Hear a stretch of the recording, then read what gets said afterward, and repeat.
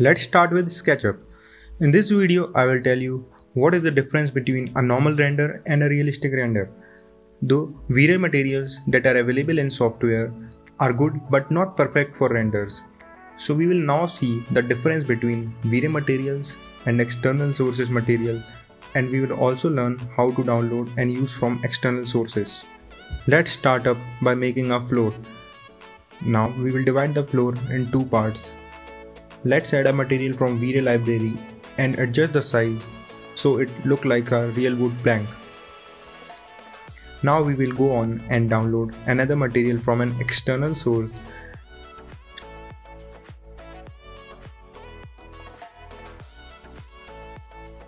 So this is the website called textureheaven.com. We will now select a material according to our choice and then we will download it. Now we will extract it in a folder.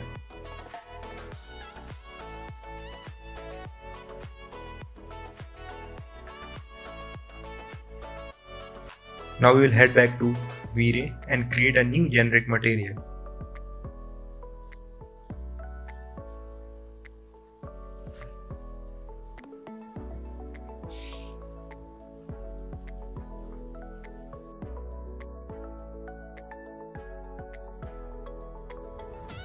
Here we will add the bump map.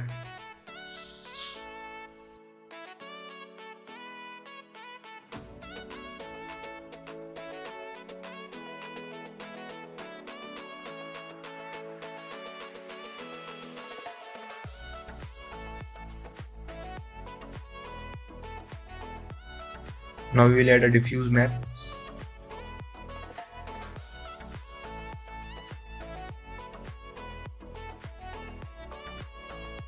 Now we will go on and add displacement map. You can check the name of maps in the name. It is written DISP and uh, so this is the displacement map. We can select it. DIFF is diffuse map.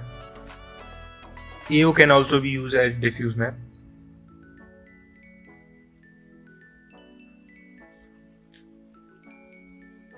Now it's done. There are few more settings which we will learn about it later.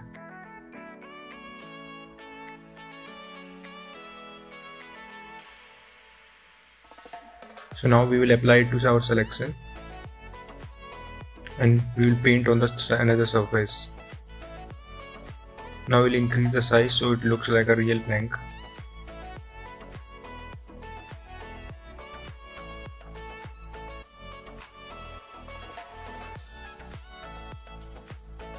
it is too big. We will decrease the size.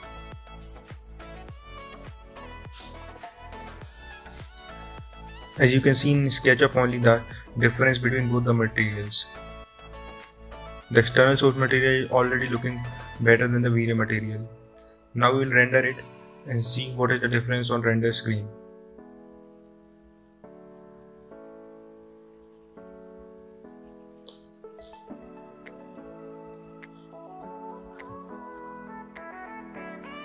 so now the difference is very visible on the screen as you can see. So this is how external source material makes the difference in the realistic renders.